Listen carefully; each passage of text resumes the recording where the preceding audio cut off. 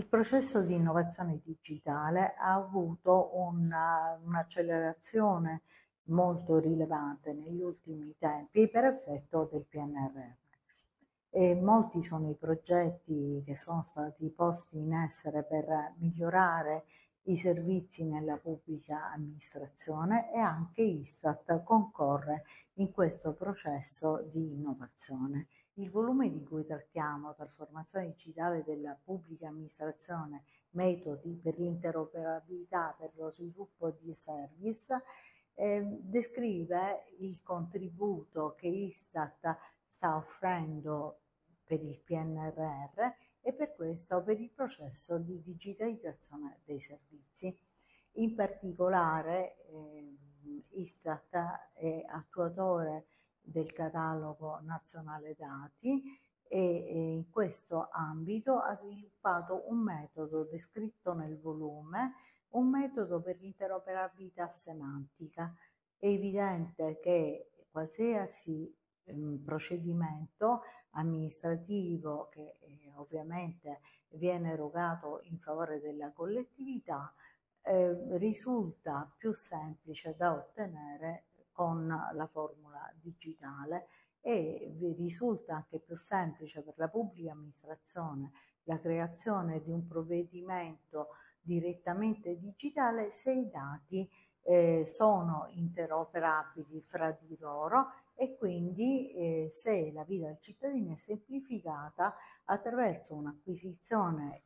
assolutamente digitale da parte dell'altra amministrazione che detiene i dati. Stiamo parlando quindi di concorsi pubblici, ehm, delle, dei servizi previdenziali e molte altre, molti altri servizi nell'appia. cosa descrive il volume? Mm,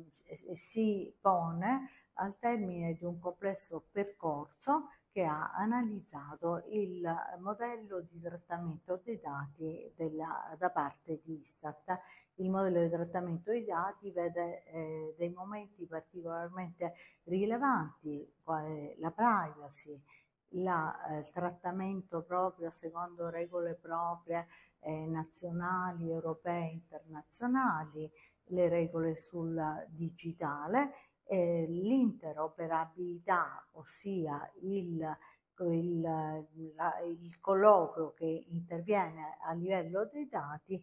in, in, modo tale che le pubbliche amministrazioni intendano l'informazione con il medesimo significato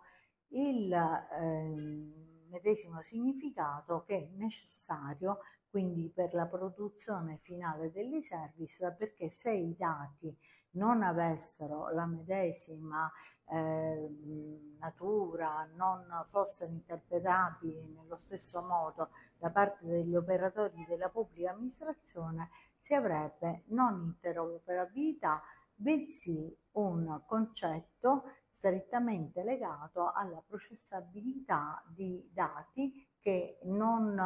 non colloquiano fra di loro. Ehm,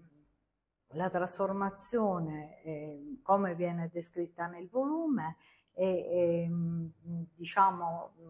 pone una serie eh, di indirizzi e questioni tecniche eh, di, eh, proprio eh, di processo e tutta eh, questa descrizione eh, può trovare due destinatari. Il, il, destinatario, quindi il lettore del volume pubblica amministrazione che partecipa e concorre a questo processo di integrazione dei dati per la produzione di service, ma naturalmente eh, per cittadini e studiosi che vogliano approfondire il,